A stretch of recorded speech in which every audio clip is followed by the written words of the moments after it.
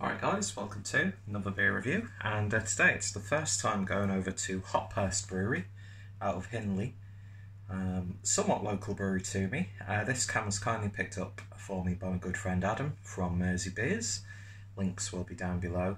And I think I might have had like one or two uh, Hophurst beers when I've like been uh, waiting for either the bus or train home from Wigan. Because I'm sure they've been uh, on cask or keg at Wigan Central the times that I've been there. And I'm sure um, John from Northern Beer Temple also stocks them, but I don't think I've ever actually reviewed one. So this is the Porteresque, which is described as a milkshake porter. Porteresque is a full-bodied milkshake porter with flavours of chocolate, rounded off with a smooth, milky, sweet finish. And it's basically brewed with oats and lactose. 5.5% ABV. Best before is October 2020. Lovely artwork there. And um, yeah, just in the middle of doing myself a, well, doing everyone, I should say, a steak and ale pie. Because uh, uh, it's the first day I've actually been allowed out after self isolation. So I was picking a few things up for people. I thought I'd have a bit of a walk as well. Uh, so I thought I'd, I'd, give this a try. Uh, the Winter Ruby Ale from um, Robinson's, which they brewed for um, the co-op. So uh, yeah, I had a few swigs it. wasn't too bad, and put the rest into me steak and ale pie. And uh, this beer, by the way, cost three pound twenty. Can't remember what supermarket it was, whether it's like a Londis or something like that. I'm not too sure, but massive, massive thank you, Adam, for this. So when I finish this review, gonna give me uh, beef and ale mix a quick stir, have a cigarette, and then start getting ready to uh, to work from home. But we won't tell anyone that. It's our secret. So there we go. So a milkshake porter. I'm interested by the concept of it. So beer in the glass then. And uh, yeah, that is looking pretty much jet black. If not, once I've had a few sips, I'll probably realise that it's like a dark brown ruby uh, sort of looking beer. But it's looking nice in the glass indeed, with about one finger's worth of a beige tan looking head. So let's see what we get on the nose. I need to do the washing up as well. Shit. Anyway, let's give it a sniff. I'm getting like a sweet vanilla vibe coming through. There's like some slight dark malts, a little bit chocolatey. Almost like grated chocolate. Yeah. There's admittedly not much going on on the nose right now. But what is there is really nice, pleasant, and laid back. So let's see what it tastes like. Cheers, guys, and cheers, Adam.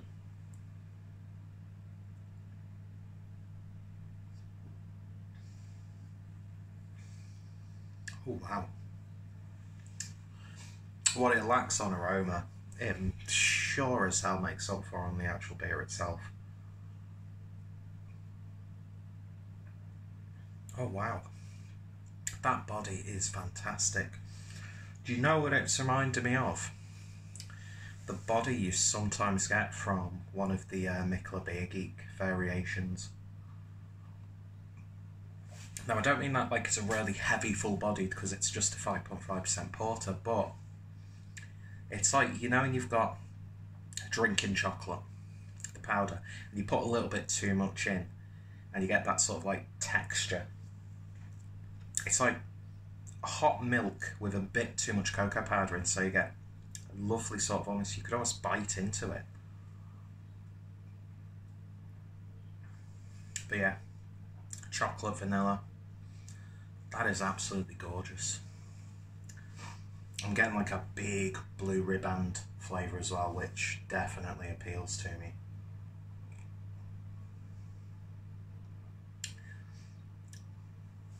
They've just used just the right amount of lactose, where it doesn't impart too much of a flavour, but you definitely know it's there. Oh, that's gorgeous. It's absolutely gorgeous. And there isn't even any vanilla in there, but it's got a really nice sort of like you know, the vanilla extract. Smooth, silky. Mm. That is an absolute banger. It really, really is.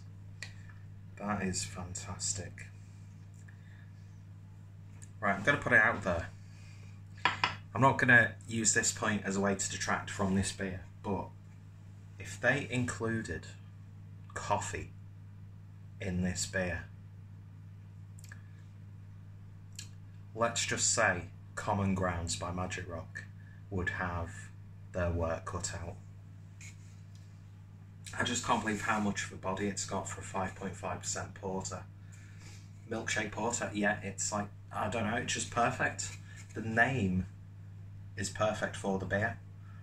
Now, you sometimes run the risk of like expected too much when you see a milkshake porter, because how great does that sound?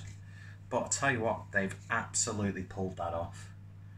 That is pure magic. Fantastic stuff. And £3.50 in a 440ml can. Absolutely amazing. What? Yeah, I know I said amaze balls and I'm regretting it. Shut up, you. But um, there's no one there. It's called acting. Yeah, that's magic. That's absolute magic. Beautiful, beautiful stuff. Adam, if you're in that area again, pick yourself up pick yourself up a few cans of that. If they've got a web shop, I shall definitely, definitely be putting this into the basket. Yeah, these guys are out of uh, the Hindley Business Centre in Platt Lane, Hindley, Wigan. Not sure if they've got like a tap room. Not that right now makes a difference because as of recording this, we're in lockdown. But um, yeah, lovely stuff. I want more of this. That is, oh, it's just great. It's absolutely great lovely, lovely stuff. So yeah, it's safe to say, aside from wanting coffee in there, that's not gonna. I'm not gonna even like use that against a review. That to me is just a perfect ten out of ten.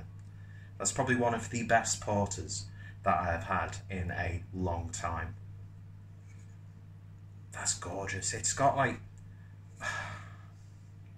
It's got characteristics of like adjunct adjunct imperial porters, but it's just been done with the only real sort of like additional additive would be the lactose. Everything else is just down to the, the malt, the hops, and the yeast. Slight, you know, it's got a slight earthiness just to help level it so it doesn't become too sickly sweet. But yeah, man, that's gorgeous. Absolutely gorgeous. Fantastic stuff. 10 out of 10 if you can get your hands on it, highly, highly recommended. Um, if the guys have got a web shop and they deliver uh, throughout the UK, highly recommended. Um, and anybody locally to the brewery who can get hold of this, give it a go because that's gorgeous. And another example of this is coming from the person who isn't the biggest fan of cask beers. Imagine that beer on cask. Oh my word, that's good. Lovely, lovely stuff. Adam, thank you so much. Um, I made the right choice with this one. I've got a mango and passion fruit milkshake IPA from them, which I'm looking forward to as well. But yeah, Hophurst Brewery. Highly, highly recommended if you can come across this. Really, don't do it literally though, because that's dirty. Anyway, why do I keep coming up with ejaculation jokes? What's that, sorry? Yeah, I know I'm human scum. You don't need to remind me. Anyway, Thank you guys for watching. 10 out of 10. Check out the brewery. Massive thank you to Adam. And uh, yeah, I shall see you all later. Cheers.